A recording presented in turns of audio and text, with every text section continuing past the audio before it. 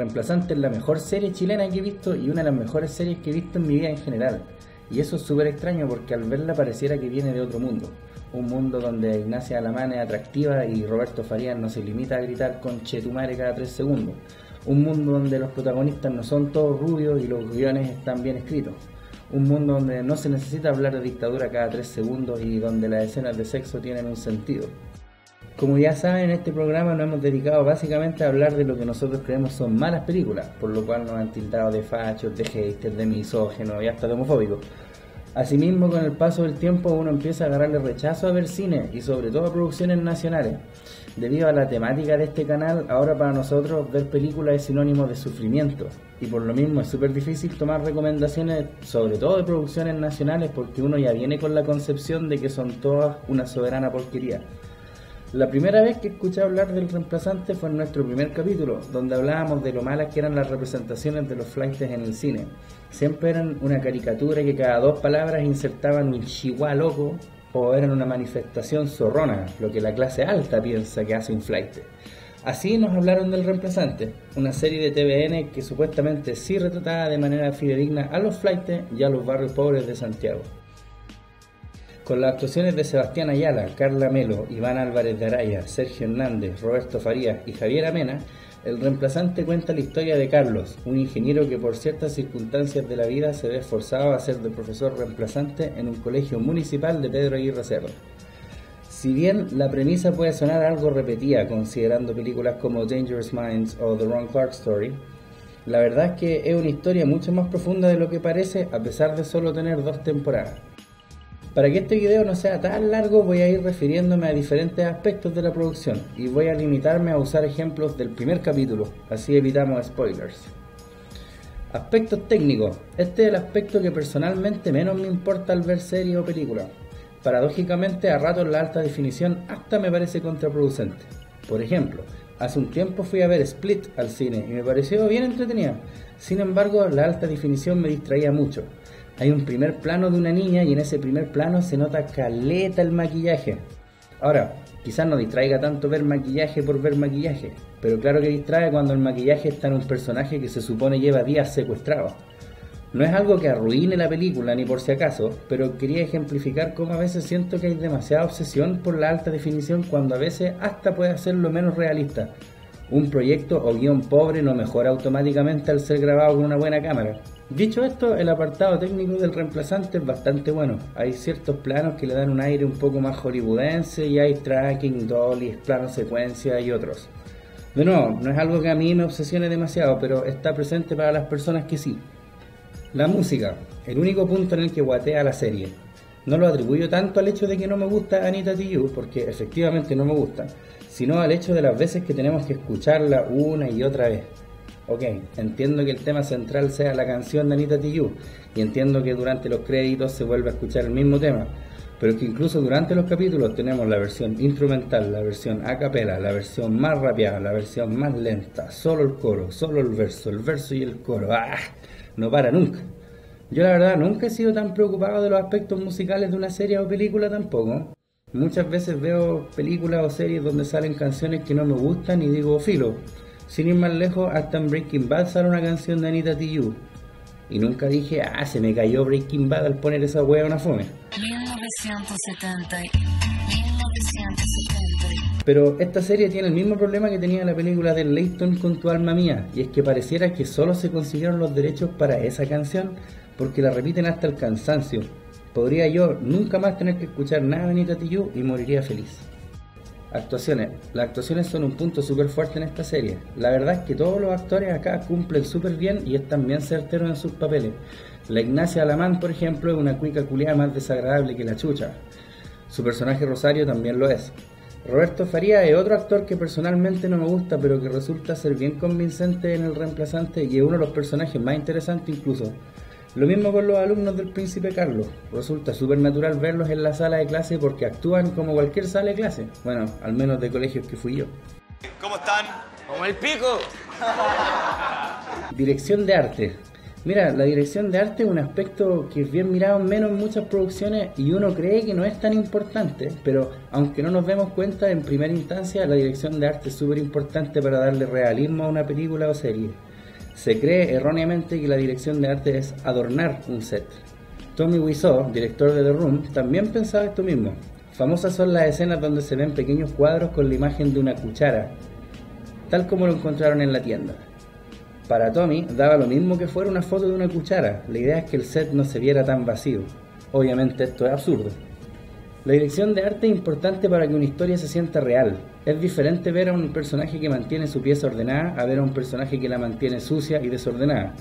No es posible que hayan armarios con libros en la casa de un personaje como Tony Montana, por ejemplo, que poco tiene que ver con lectura. Y también nos ayuda a darnos cuenta del estrato social de un personaje. Así, no es necesario mostrar a un tipo contando las chauchas en el almacén cuando podemos ver dónde vive, de qué tamaño es su televisor y qué es lo que toma para la once. Asimismo, el vestuario de los personajes también está cuidado para que no parezcan el flight de zorrón o el Kuma que vieron en las noticias. ¡Andalán! Tomemos el caso de uno de los personajes principales, el Michael. Si bien el Michael encaja en la vestimenta de lo que podría considerarse un rapero, la verdad es que sus acciones y vestimenta también describen su personalidad. En clase siempre está con capucha, con un gorro y escuchando música. Esto no necesariamente describe que quiere imponer su estilo, sino que es un personaje que siempre está a la defensiva su constante uso de audífonos puede aludir a que siempre hubo muchas peleas en su casa, de la cual escapaba momentáneamente a través de la música. En privacidad notamos que sus facciones son algo femeninas y esto en la pobla puede definirse como una debilidad. Psicológicamente también esto puede simbolizar la necesidad de esconderse, por eso recurre a siempre estar tapándose el rostro. No es casualidad, por ende, que en los momentos en que está con Flavia, su interés amoroso, Michael no siente la necesidad de estarse tapando, ya que se siente cómodo o protegido. Podría darle muchos más ejemplos de esto, pero la idea es que ustedes saquen sus propias conclusiones. También hay que destacar la belleza que hay dentro de la fealdad de las casas de cada uno de los personajes. El hecho de que estas casas estén sucias o desordenadas no es un reflejo de que la clase trabajadora es sucia y desordenada, sino que en estos barrios la mamá y el papá trabajan todo el día y los cabros chicos van al colegio en jornada completa. Es muy probable que se levanten atrasados mientras la mamá busca ropa para irse al trabajo y queda al manso desorden que nadie se queda a limpiar. Son personajes que no tienen tiempo para mantener la casa ordenada durante la semana y menos van a tener recursos para contratar a alguien que limpie. Esto es algo que nuevamente le da realismo a donde transcurre la serie, así como las tazas que se compran en el supermercado, las bebidas marca Mercat y los cigarros que fuman ciertos personajes. Y la verdad es que todos estos detalles encajan tan bien debido a lo bueno que es el guion. Para quienes ya llevan tiempo viendo este canal saben que siento que lo más importante en una película es el guion. Please stop making so many crappy movies. Here are a few tips to help you out. One, story is king. Always has been, always will be. Es una opinión que claramente no comparten todos y entiendo, pero personalmente siento que pulir el guion es una técnica que junto a la actuación requiere más trabajo que cualquier otra, y pareciese ser que en Chile no se comparte la misma idea. Sin menospreciar el trabajo en AI, obviamente, es probable que si me consigo un dron y luego unas horas de práctica puedo conseguir un plano como este. Sin embargo, ninguna cantidad de dinero me va a convertir automáticamente en un bien guionista. Puedo seguir la estructura del guion según Campbell y mientras estructuralmente va a estar bien escrito y quizás los 12 pasos del héroe se sigan al pie de la letra, esto no garantiza que mi historia sea interesante. Mientras tanto, un plano americano siempre va a ser un plano americano. De nuevo, no es por menospreciar a quienes claramente tienen un manejo audiovisual, pero al menos siento en Chile que el guion es muy mirado menos. Tomemos como ejemplo una de las primeras escenas del reemplazante. Carlos despierta por la mañana al sonido de unos golpes en la puerta. De a poco le empiezan a llegar recuerdos de una plata que no debió haber invertido. La manera en que llegamos a esta realización junto a Carlos es a través de unos flashbacks de lo ocurrido la noche anterior. Un guion expositivo lo habría situado en el computador revisando alguna alerta o alguna llamada telefónica del jefe enfurecido. Sin embargo, solo con la naturaleza de los golpes en la puerta y la expresión de Carlos, sabemos que algo malo ocurrió. Después cortamos a las afueras de las penitenciarías y noten además cómo nos presentan a Sergio Hernández, el actor que interpreta al papá de Carlos. Siendo sincero, sería extraño que el papá de Carlos tuviese diálogo de la índole de hoy qué rápido pasan tres meses, o algún intercambio rematando con un pero recuerda que yo soy tu papá. Lo bueno de esta escena es que nos damos cuenta de la naturaleza de la relación entre estos personajes no por lo que dicen, sino por lo que no dicen. Ellos no están exponiendo una conversación para que la entienda el espectador desde su casa, sino que están viviendo en su propio mundo. Más tarde es este niño el que nos pone en contexto respecto a cuánto tiempo estuvo preso Carlos y por qué. Es una manera de entregar información sin ser expositivo.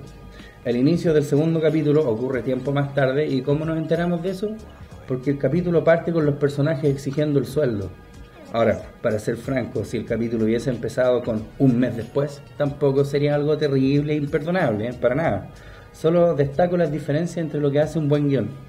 Otra faceta que destaco mucho del guion es la inclusión del humor, que encuentro sumamente importante en producciones como esta. Prueba de ello el personaje del Claudio, el malo de la serie. ¿Por qué estáis picando cebolla? ¿Dónde hay antojado empanadas? Empanas de queso, pa' hueonado.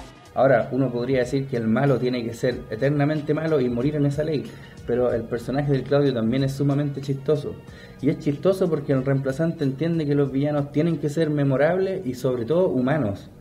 Un malo no es malo necesariamente porque cree en las fuerzas del mal, sino porque simplemente tiene otras creencias o prácticas que entran en conflicto con los héroes del programa. Los Sopranos, mi serie favorita, son un muy buen ejemplo de esto. Piensa que todos los que son villanos en Los Sopranos solo buscan exactamente lo mismo que Tony Soprano, más poder, dinero y control. Y esta serie ha sido críticamente alabada porque cada capítulo se percibe como un día en la vida real. En un día podía estar trabajando cabreado, quizás después estáis más contentos, quizás después ves algo terrible y chistoso, quizás veis algo triste, quizás peleáis con alguien, quizás no. A lo que voy es que un día del ciudadano común no es solamente drama, en un principio Breaking Bad, otra buena serie, también sufría de esto porque Walter White parecía no vivir en un mundo donde la gente interactuara de manera normal. Siempre todos estaban tristes o enojados o pasando por algo peligroso.